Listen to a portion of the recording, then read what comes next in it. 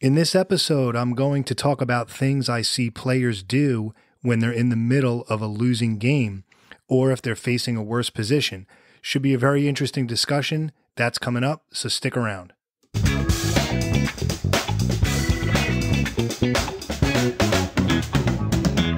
Okay, welcome to the chess angle. So, as a tournament director, I observe a lot of interesting things. And one of the things I noticed is the behavior of some of the players or the things they do changes if they're in the middle of a game that they're losing or if they're facing a much worse position. And I've noticed some patterns, and I, I thought I'd share this. Um, at some point, I plan on you know taking all my observations as a TD and writing a book about it. I kind of keep a note of these things in my phone, and then when I get enough material, um, I'm, I'm going to write a book. You know, the old saying, I could write a book. Well, I literally could uh, with what I see. So let's start with some common behaviors. Now, I'm only mentioning things that I've seen more than once. Okay, so the first thing that I'll see players do when they're in the middle of a losing game or in a worse position is they will offer a draw or do so repeatedly. Okay, so offering a draw is, of course, allowed. You can offer a draw in a worse position, but that's just considered poor etiquette or bad form. It's technically not against the rules, but repeated draw offers, and I had talked about this uh, in a previous episode, repeated draw offers are not permitted.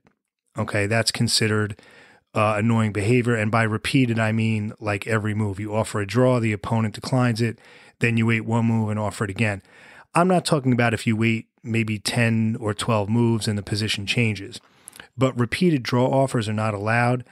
And when your opponent does that, a pretty common, you know, interpretation of that is that uh, he or she feels she's losing the game. So if if you think you have a better position but you're not sure, and your opponent offers a draw, you're probably better. But that's one thing I noticed that they do. They just offer a draw in hopes of kind of, you know, weaseling their way out of it.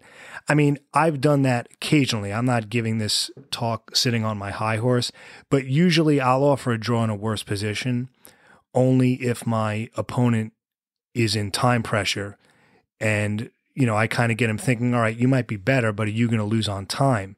So you're kind of putting the test to your opponent? Do you have faith that you can take advantage of your better position with the limited time you have, or do you think you're going to lose on time? So, an interesting dynamic there. Now, the second thing I notice players doing in the middle of a worse game is that they slam the pieces. Okay. As if, uh, you know, that's going to somehow distract the opponent, or maybe it's just a sign of anger but they'll make a move and they'll like whip the pieces down, which of course is not allowed.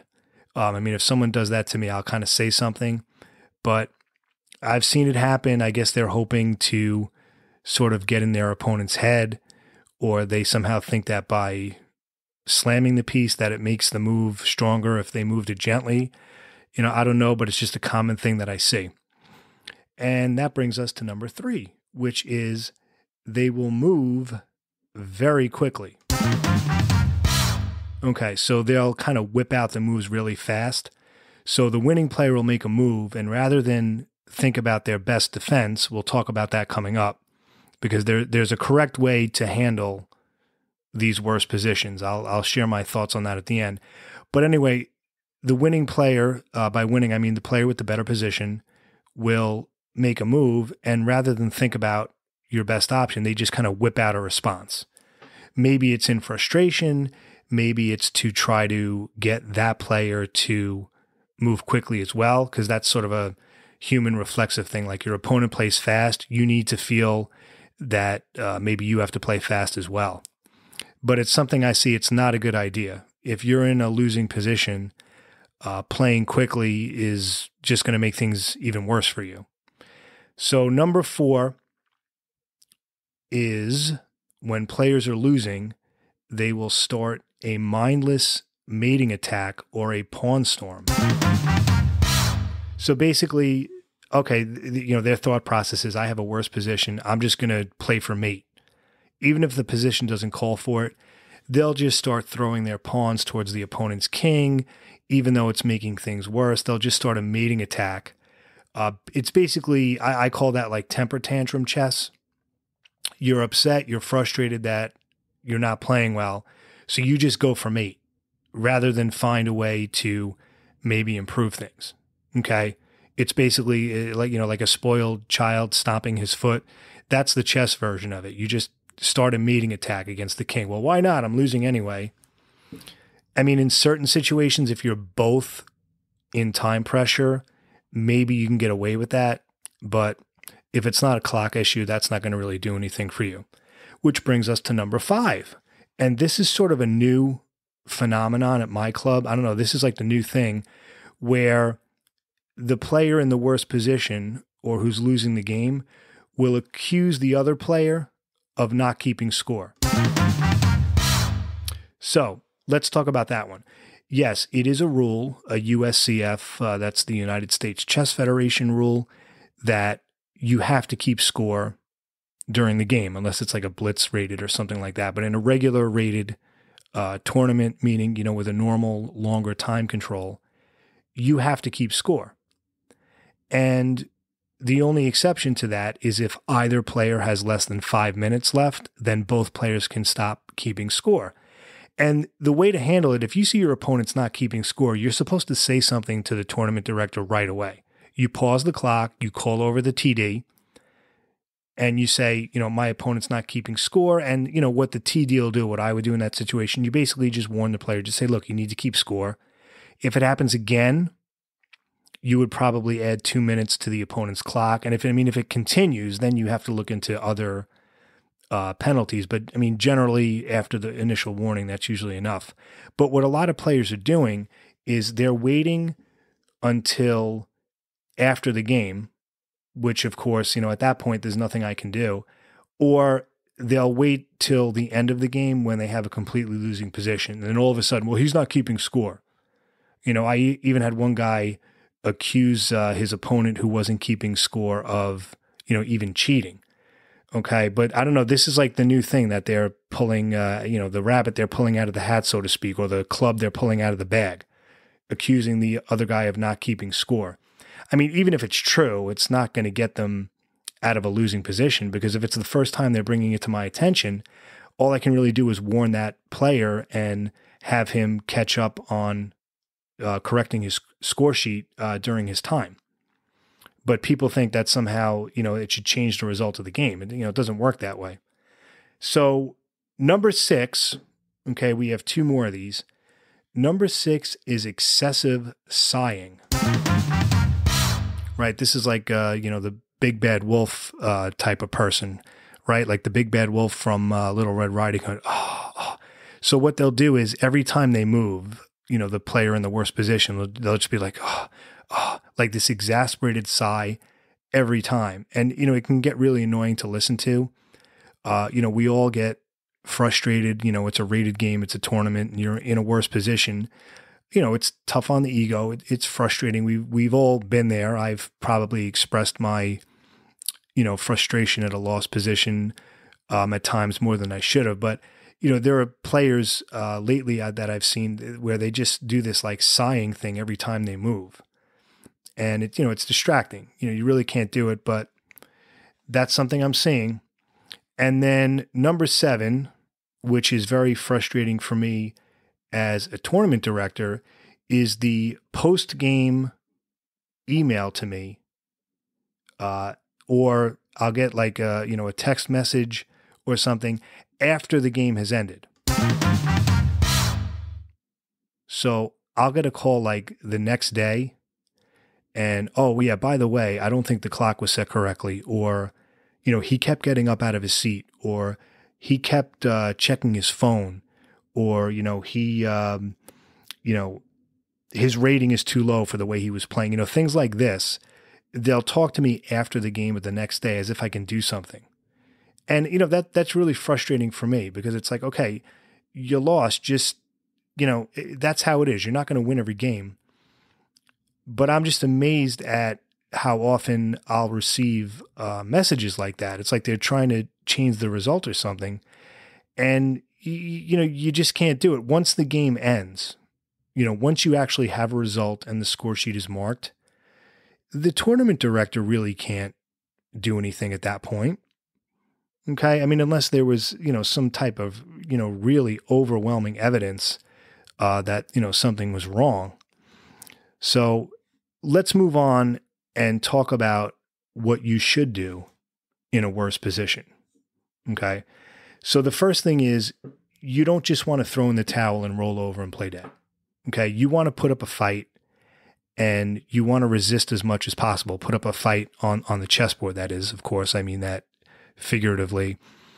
You know, find very annoying moves. That's what you want. You want moves where you want to play moves where it really forces your opponent to think, where he or she can maybe go wrong. You want to trip them up, so to speak. Okay. And in addition, look for something positive in your position that you can exploit. Maybe you have a certain piece that's better, or maybe you have control of a file. See if you can create weaknesses. See if you can take advantage of the positives that you do have.